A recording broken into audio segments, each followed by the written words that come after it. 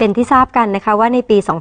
2558 10 ประเทศในภูมิภาคเอเชียตะวันออกเฉียงใต้หรือว่าอาเซียนนั้น ก็จะรวมตัวเป็นประชาคมเศรษฐกิจอาเซียนค่ะ ซึ่งก็ถือว่าเป็นการรวมตัวกันอย่างเป็นทางการ วันนี้คาดข่าวดีของเราก็เลยนำเรื่องนี้มาพูดคุยกันเยอะหน่อย แล้ววันนี้มีความเห็นของอดีตเลขาธิการอาเซียน กับศักยภาพของประเทศไทยในการก้าวเข้าสู่อาเซียนมาฝากกันด้วยค่ะ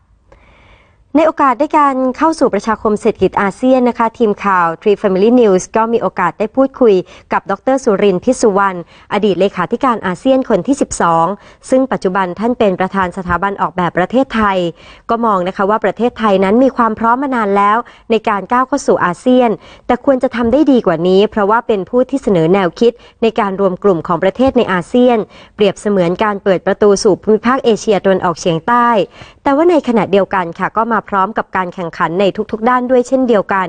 ซึ่งปัญหาของไทยเราก็คือเรื่องของการพัฒนาด้านการศึกษา โดยเฉพาะภาษาอังกฤษ ทั้งที่เรานั้นมีต้นทุนในด้านอื่นๆ อยู่แล้ว ทั้งการให้บริการการท่องเที่ยว แล้วก็ทรัพยากรต่างๆ ด้วย ไปฟังเสียงของดรสุรินทร์กันสักนิดนึงค่ะจะหวังเพียงทางใดทางหนึ่งคงไม่ได้ หวังแต่รับประโยชน์อย่างเดียว โดยจะไม่มีส่วนกระทบเลยนั่นเป็นหน้าที่ของรัฐบาลเป็นหน้าที่ของ หน่วยราชการสถาบันการศึกษาที่จะต้องเตรียมพร้อมคนเพื่อที่จะให้ปรับตัวเข้าสู่ประชาคมที่ใหญ่กว่า ตลาดที่กว้างกว่า การแข่งขันที่อาจจะสูงกว่า ในแง่นี้ประเทศประเทศไทยไม่ได้เสียเปรียบคนอื่น แต่ประเทศไทยควรจะทำได้ดีกว่านี้ และประเทศไทยจะได้ประโยชน์มากกว่าคนอื่น เหตุผลเพราะว่าเศรษฐกิจไทยสังคมไทยเป็นสังคมที่หลากหลาย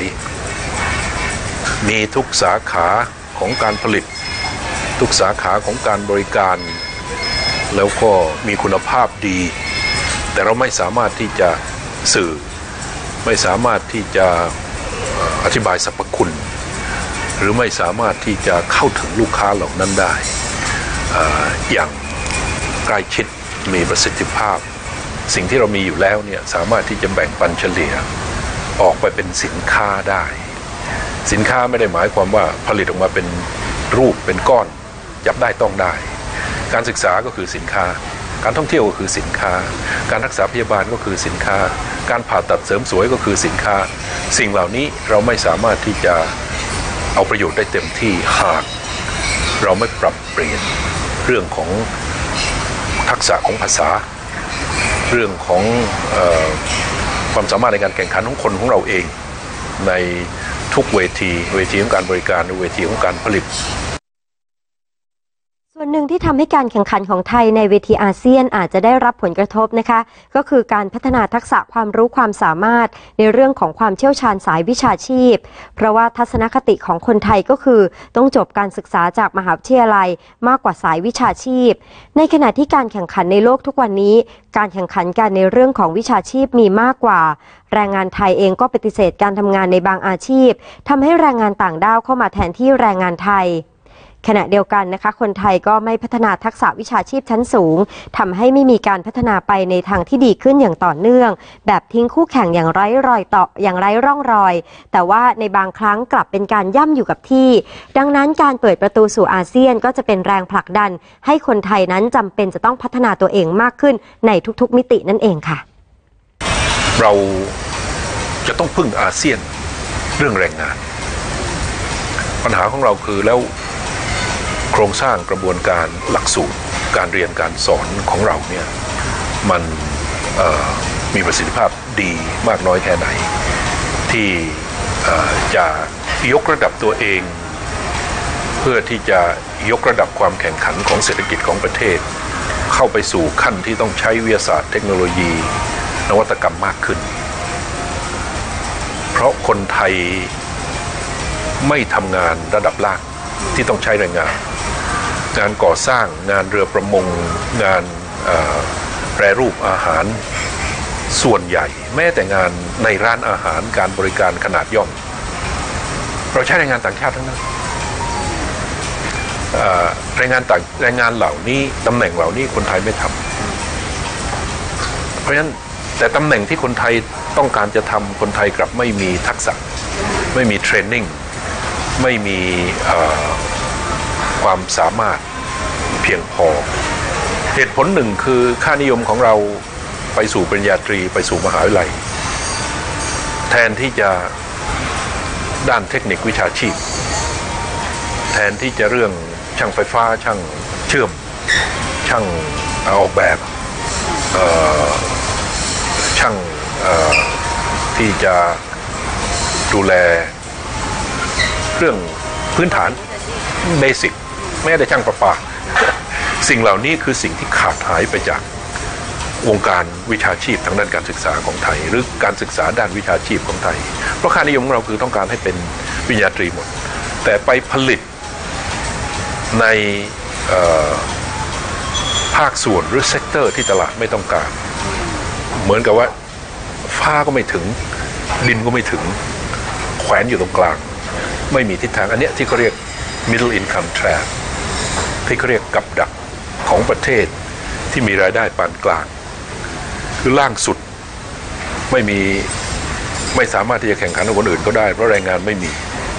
แรงงานถูกกันมันไม่มี สู้จีนสู้อินเดียเขาไม่ได้ ข้างบนสุดขยับตัวเองขึ้นไปเพื่อแข่งขันกับเขาในอีกระดับหนึ่งเราก็ทำไม่ได้ เพราะคนของเราไม่มีทักษะเพิ่มขึ้น ไม่มีอ่อ innovation ไม่มีการ ทำนวัตกรรมสิ่งใหม่ๆ intellectual property ทรัพย์สินทางปัญญา หรือวิทยาศาสตร์ หรือเทคโนโลยีที่จะยกระดับการผลิตของเราให้มันสูงขึ้นกว่าเดิม นอกจากนี้นะคะ ดรสุรินยังให้มุมมองในการพัฒนาเด็กเยาวชนและคนในประเทศไทยไว้ได้อย่างน่าสนใจ โดยเฉพาะทุกภาคส่วนของสังคมไทยตั้งแต่ระดับชาติ มาจนถึงหน่วยที่เล็กที่สุดอย่างครอบครัว ล้วนแล้วแต่มีความสำคัญทั้งนั้น ในการที่จะผลักดันให้ประเทศไทยนั้น ก้าวไปสู่ความเป็นผู้นำของอาเซียน ด้วยศักยภาพของต้นทุนที่เรามีทั้งด้านทรัพยากร การท่องเที่ยววัฒนธรรม รวมไปถึงการให้บริการในฐานะของสยามเมืองยิ้มค่ะ มากรุงเทพไม่รู้สึกว่าเป็นอินเตอร์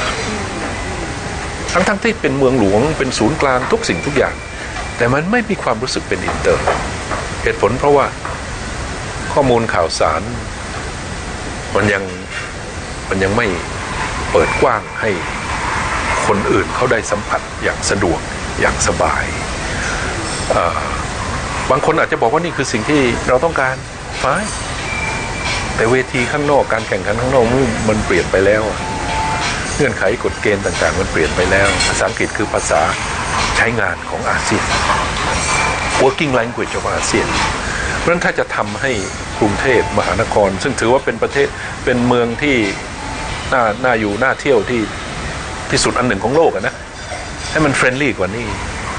ให้มันเป็น cosmopolitan หรือเป็นสากลมากกว่านี้ ผมคิดว่าเราจะได้ประโยชน์จาก ประชาคมโลกจากอาเซียนมากกว่านี้ให้ลูกเรียนรู้เรื่องการที่จะต้องช่วยตัวเอง ไม่พึ่งพิงพ่อแม่ในทุกเรื่องตลอดไป จะเลือกแบบเสื้อสีเสื้อถามคุณแม่ คุณแม่ต้องเลือกรองเท้าให้ คุณแม่ต้องกำหนดว่าวันนี้แต่งตัวยังไงเนี่ยมันไม่ได้อีกแล้ว เขาต้องเป็นตัวของตัวเอง เขาต้องเรียนรู้ที่จะตัดสินใจเองเลือกเอง รับผิดชอบในสิ่งที่ตัวเองเลือก สิ่งที่ตัวเองท